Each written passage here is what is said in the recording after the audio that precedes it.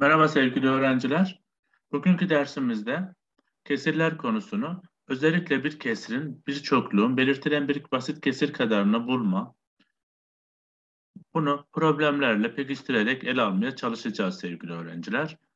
Kanalımda izlediğiniz videolarımı beğenip yorum yaparsanız sevinirim sevgili öğrenciler. Kanalıma abone değilseniz abone olup bildirim zilini açmanız halinde daha sonra yüklediğim videolarımdan ve duyurularımdan haberdar olabilirsiniz. Şimdi dersimize geçebiliriz sevgili öğrenciler. Örneklerle bu konuyu pekiştirelim isterseniz. 45 yumurtanın 1 bölü 5'i kaç yumurta, yumurtadır diyor. Bu tür problemler karşınıza çok çıkacaktır. Bunu şekille öncelikle şekille ifade etmeniz gerekir. Bir, bir bütün 45 yumurtayı ifade etmektedir.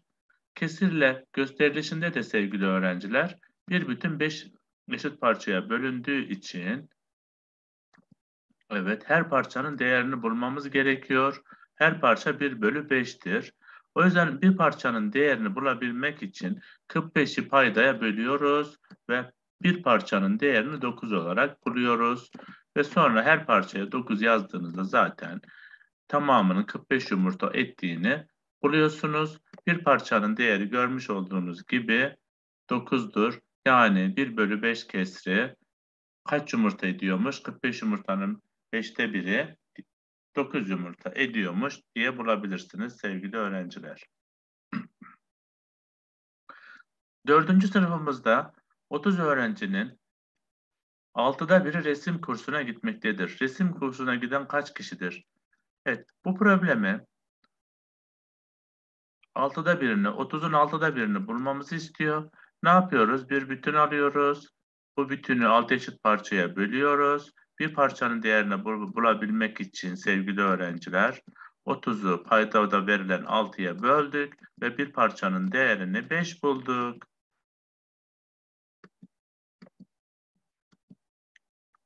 Ve resim kursuna giden öğrenci sayısı bir parçanın değerine eşit olduğu için 5 kişi olarak buluyoruz sevgili öğrenciler. Bir kasa domates 32 kilogramdır. 4'te 3'ü satıldığına göre satılan domatesler kaç kilogramdır? Yine bir bütünü bunu şekilde anlatalım. Bir bütün çiziyoruz. Paydası 4 olduğu için 4 eşit parçaya bölüyoruz. 3 parçasını boyayacağız sevgili öğrenciler. Gördüğünüz gibi 3 parçasını ayırdık. Öncelikle bu tür problemleri çözerken bir parçanın değerini bulmanız gerekir sevgili öğrenciler. Ne yapıyoruz yine? Birim kesirlerin değerini bulur gibi bir parçanın değerini bulmak için tamamını 32'yi 4'e bölüyoruz ve bir parçanın değerini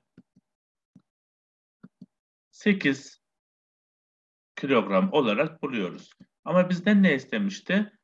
4'te 3'ü 4'te 3'ünün değerini sorduğu için sevgili öğrenciler 4'te 1'i 8 kilogram. 4'te 3'ünün değerini sorduğu için Burada 4'te 3'ünde kaç parça var boyalıdır? 3 parça. O yüzden 8'i 3 ile çarpıyoruz ve 4'te 3'ünü 24 kilogram olarak buluyoruz sevgili öğrenciler. Evet. Arda 56 sayfalık hikaye kitabının e, 8'de 5'ini okuduğuna göre okuduğu sayfanın sayısı kaçtır?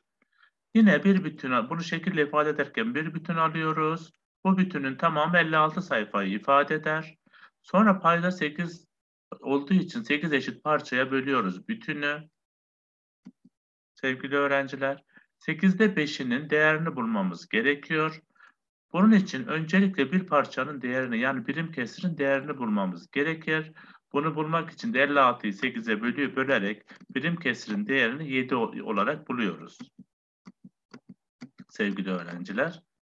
Yani 8'de biri birim kesirin değeri 7 sayfayı ifade eder. Ama bizden 8'de 5'ini sorduğuna göre yani 5 parçanın değerini sor, sorduğuna göre payda 5 olan payda, payı 5'tir bu kesirin. Birim kesirle çarpıyoruz. Yani 5 ile 7'yi çarparak 8'de 5'inin 35 sayfa ettiğini buluyoruz sevgili öğrenciler. Bir çokluğun belirtilen bir basit keserini bulmak için sevgili öğrenciler, yine başka bir örnekle konuyu pekiştirmek istiyorum. Öğretmenlere Edip Enver Cansu'dan bir ekip oluşturmalarını ve ekibin 100 soruyu çözmesini istiyor. 100 sorunun onda ikisini Edip, onda üçünü Enver, onda beşini Cansu çözdü. Ekipte kaç soru, soru çözdüklerini bulalım diyor. Öncelikle sevgili öğrenciler 100 soruyu belirtilen bütünü çizelim. Bütündeki onda bir birim kesimine karşılık gelen soru sayısını bulmamız gerekiyor. Ne yapıyoruz? 10 eş parça yani 100 soruyu temsil ediyor. Çünkü paydası 10 olduğu için bir bütünü 10 eşit parçaya bölüyoruz. Her parçanın değerini bulabilmek için de 100'ü 10'a böldük. Bir parçanın değerini 10 bulduk. 100'ün içinde 10, 10 kere var. Yani her parça, her birim kesir değeri 10 sorudur. Şimdi sorunun çözümüne çok rahatlıkla ilerleyebiliriz. Edip iki parça iki parça çözdüğü için 2 çarpı 10 20 soru çözmüştür. Enver 3 bölü 10 yani 3 parçasını çözdüğü için şekildeki ifadenin 3 çarpı 10 30 soru çözmüştür. Cansu ise 5 bölü 10 yani 5 parçasını çözdüğü için 5 çarpı 10 50 soru çözmüştür. Soruların tamamı çözülmüştür diyebiliriz sevgili öğrenciler. Başka soruyla konuyu pekiştirelim isterseniz. Kezban günün 5 bölü 12'sinde uyuyor. 2 bölü 24'ünde ise ders çalışıyor. Kezban'ın bir gün boyunca kaç saat uyuduğunu ve ders çalıştığını bulalım. Önce 5 bölü 12 sonra 2 bölü kesir e, 2 bölü 24 kesirini modelleyelim isterseniz sevgili öğrenciler. Bir, bölüm, bir, bir, bir günün 5 bölü 12'sini ve e, 2 bölü 24'ünü kaç saat olduğunu bulmamız gerekiyor. Bir gün 24 saattir. 12 eş parçaya böldüğümüzde 24 saati temsil ediyor. Her parça 2 saate temsil eder. Bir bütün 12 parçaya bölünmüştür. Yani bir, bir, e, günde 24 saat olduğuna göre bir parçanın değeri 2 saattir sevgili öğrenciler.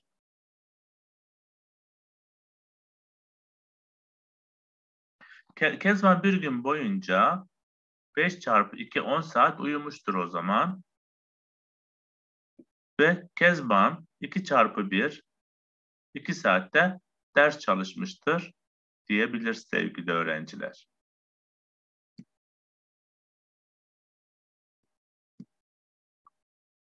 Ellinin 5'te ikisi bulmak için öncelikle birim kesir değerini bulmamız gerekir. 50'yi 5'e bölüyoruz. Sonra bulduğumuz sayıyı paydaki 2 ile çarparak 5'te ikisini bulmuş oluruz. Hemen yapalım. Birim kesir değeri 50'yi 5'e böldüğümüzde 10 olarak buluyoruz. Sonra 12 ile çarptığımızda 5'te ikisini 20 ettiğini buluyoruz.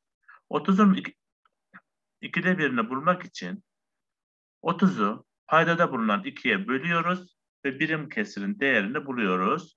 Sonra paya bakıyoruz. Payda payı 1'dir. 1 ile çarparak 30'un 2'de birinin değerini buluyoruz sevgili öğrenciler. Birim kesin değeri 15 çıktı. 15 çarpı 1 15 çıkmıştır. Bir, birkaç örnek de isterseniz pekiştirelim. 75 elmanın 5'te biri kaç elmadır diyor. Birim kesir değerini soruyor. Basittir bu. Birim kesin değerini bulmak için ne yapıyoruz? Verilen değeri paydaya bölerek birim kesirin değerini bulabilirsiniz. 75'i böyle 5'e bölerek bir parçanın değerini 15 olduğunu çok rahatlıkla bulabilirsiniz sevgili öğrenciler. Modelin üzerine yerleştirdiğinizde de zaten 75 elmaya eşit olduğunu göreceksiniz. Evet yine birim kesirin değerini soruyor. 64 cevizin dörtte biri kaç ceviz eder diyor. Bir bütün 64 ceviz ifade ettiğine göre bütünü 4 eşit parçaya bölüyoruz. Bir parçanın değerini sorduğu için ne yapıyoruz? Paydası 4 olduğu için 64'ü 4'e bölerek bir parçanın değerini sevgili öğrenciler 16 ceviz ettiğini buluyoruz. Ve bunu da modeller üzerine yazabilirsiniz. Evet. 96 armudun 6'da biri kaç armut eder diyor. Yine birim kesirin değerini soruyor. Şekli 6 parçaya bölüyoruz. Bir parçasını tarıyoruz. Birim kesim değerini bulmak için 96'yı paydadaki 6'ya bölüp bir parçanın değerini yani birim kesirin değerinin 16 olduğunu buluyoruz sevgili öğrenciler. Bir başka örneğimizde 98 fındığın 7'de biri kaç fındık eder diyor. Bunu şekille ifade ederken bir bütün alıp 7 eşit parçaya bölüyoruz. Bir parçasını tarıyoruz. Birim kesir değerini bulmak için de 98'i paydadaki 7'ye bölüyoruz. Ve birim kesirini yani bir parçanın değerini sevgili öğrenciler 14 olarak buluyoruz.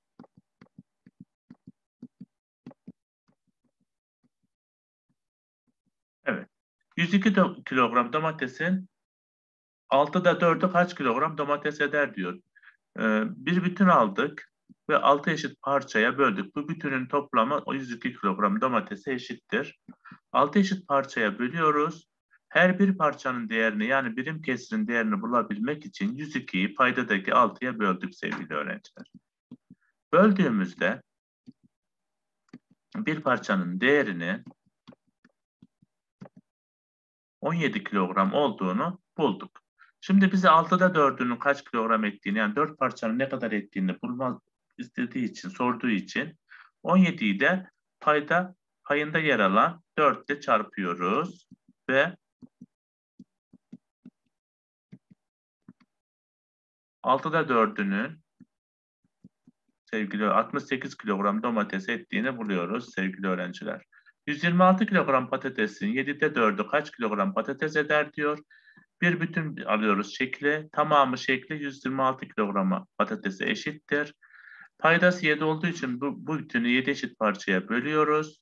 Sonra 4 parçasını tarıyoruz. Payı 4'tür çünkü. Bu soruda birim kesirin değerini bulmadan 7'de 4'ünü bulamayacağımız için bir parçanın değerini bulmak için 126'yı e, paydaya bölüyoruz. Yani 7'ye bölüyoruz ve bir parçanın değerini sevgili öğrenciler 18 kilogram olarak buluyoruz. Ardından 7'de 4'ünü bulmak için yani payı 4 olduğu için birim kesri 18'de çarparak yani pardon birim kesri 18'dir bir parçanın değeri. Payı da 4 olduğu için 18'de 4 ile çarpıyoruz ve 7'de 4'ünün 72 kilogram patates olduğunu buluyoruz sevgili öğrenciler. 96 tane yumurtanın 4'te 3'ü kırıldığına göre kaç yumurta kırılmıştır diyor. Şekille ifade ederken bir bütünün tamamı 96 yumurta ifade eder. Paydası 4 olduğu için 4 parçaya bölüyoruz. Payı 3 olduğu için 3 parçasını tarıyoruz. Yine bu tür sorularda birim kesirin değerini bulmak için verilen sayıyı paydaya yani 4'e bölüyoruz. Ve bir parçanın değerini sevgili öğrenciler 24 yumurta olarak buluyoruz ve yerine yerleştiriyoruz. Daha sonra 4'te 3'ünü sorduğu için payı 3'tür. Birim kesiri bulduğumuz birim kesiri 24'ü de 3 ile çarparak sorunun cevabına ulaşıyoruz sevgili öğrenciler. 24 çarpı 3 72 yumurta eder sevgili öğrenciler. Evet bugünkü dersimiz de bu kadar sevgili öğrenciler. Derslerinizde başarılar diliyorum. İyi günler diliyorum.